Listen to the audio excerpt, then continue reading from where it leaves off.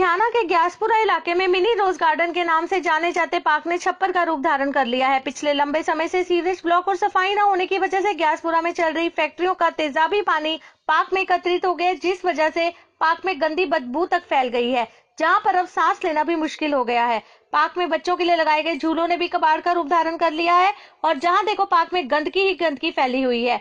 Dengue और malaria के मच्छर भी पैदा हो गए हैं और इलाके में कई तरह की भयानक बीमारियां भी फैल रही हैं और प्रशासन कुंभकर्ण की नींद सोया हुआ है यहाँ के रहने वाले लोग भी नरक जैसी जिंदगी जीने के लिए मजबूर है अब सुनिए इलाका काउंसलर की जुबानी कि इस इलाके में विकास क्यों नहीं हो रहा ਪਾਰਕ ਦੇ ਬਹੁਤ ਬੁਰੇ ਹਾਲਤ ਹੈ ਪਾਰਕ ਦੇ ਵਿੱਚ ਸੀਵਰੇਜ ਦਾ ਪਾਣੀ ਜਾ ਰਿਹਾ ਪੇੜ ਪੌਦਿਆਂ ਨੂੰ ਇੱਕ ਅਸੀਂ ਪਾਣੀ ਦੇਣ ਲਈ ਸ- ਮੇਰੇ ਮੇਰ ਪਿਤਾ ਸਾਬਕਾ ਮੇਰ ਹਾਕਮ ਸਿੰਘ ਗਿਆਸਪੁਰਾ ਜੀ ਵੱਲੋਂ ਲੱਖਾਂ ਦੀ ਲਾਗਤ ਨਾਲ ਇੱਕ ਟਿਊਬਵੈੱਲ ਲਵਾਇਆ ਗਿਆ ਸੀ, ਜਿਹੜਾ ਪਿਛਲੇ 1 ਸਾਲ ਤੋਂ ਟਿਊਬਵੈੱਲ ਬੰਦ ਪਿਆ।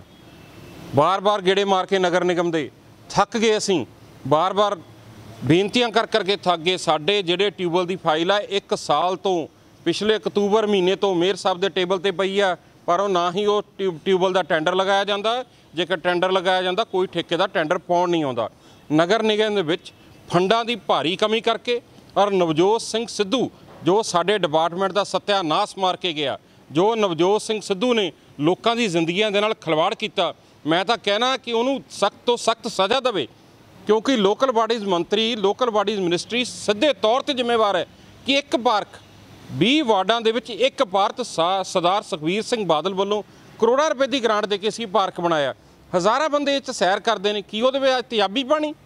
ਤਿਆਬੀ ਪਾਣੀ ਖੜਾ ਪੇੜ ਪੌਦੇ ਸੁੱਕ ਰਹੇ ਨੇ ਮੈਂ ਬਿਮਾਰੀ ਦਾ ਪੂਰਾ ਖਤਰਾ ਹੈ ਜੀ ਬਿਮਾਰੀ ਤਾਂ ਲਗਭਗ ਸਕਿਨ ਦੀ ਜਿਹੜੀ ਪ੍ਰੋਬਲਮ ਹੈ ਹਰ ਮਹੱਲੇ ਤੋਂ ਮੈਨੂੰ ਸ਼ਿਕਾਇਤਾਂ ਆਉਂਦੀਆਂ ਨੇ ਮੈਂ ਸੱਤ ਚਿੱਠੀਆਂ ਇਸ ਵਿੱਚ ਸੱਤ ਚਿੱਠੀਆਂ ਲਿਖ ਚੁੱਕਿਆ ਨਗਰ ਨਿਗਮ ਨੂੰ ਮੇਅਰ ਸਾਹਿਬ ਨੂੰ, ਕਮਿਸ਼ਨਰ ਨੂੰ, ਮੰਤਰੀ ਨੂੰ ਕਿ ਇਸ ਗੱਲ ਵੱਲ ਧਿਆਨ ਦਿੱਤਾ ਜਾਵੇ। ਬਹੁਤ ਵੱਡੀ ਬਿਮਾਰੀ ਫੈਲੂਗੀ। ਜੇਕਰ ਕੋਈ ਬੱਚਾ ਖੇਲਦਾ, ਉਹਦੀ ਸਕਿਨ ਖਰਾਬ ਹੋ ਸਕਦੀ ਹੈ। ਪਰ ਇਹਨਾਂ ਨੇ ਕੋਈ ਧਿਆਨ ਨਹੀਂ। ਪਿਛਲੇ 2 ਸਾਲ ਪਹਿਲਾਂ ਜਿਹੜੀ ਸਾਡੀ ਸੀਵਰੇਜ ਦੀ ਪ੍ਰੋਬਲਮ ਕਰਕੇ ਸਮਰਾਟ ਕਲੋਨੀ ਔਰ ਗਿਆਸਪੁਰ ਦੇ ਨਾਲ ਲੱਗਦੇ ਵਿੱਚ 10-12 ਮੌਤਾਂ ਹੋਈਆਂ ਸੀ ਬੱਚਿਆਂ ਦੀ। ਪਰ ਇਹ ਪ੍ਰਸ਼ਾਸਨ ਤੇ ਹਜੇ ਵੀ ਕੰਨ ਤੇ ਜੂ ਨਹੀਂ ਸਰਕ ਰਹੀ। ਇਹਨਾਂ ਨੇ ਕੋਈ ਧਿਆਨ ਨਹੀਂ ਦਿੱਤਾ। ਇਹਨਾਂ ਨੇ ਕਿਹਾ ਸੀ ਕਿ ਮੁੱਖ ਮੰਤਰੀ ਸਾਹਿਬ ਨੇ ਗ੍ਰਾਂਟ ਭੇਜੀ ਆਊਗੀ।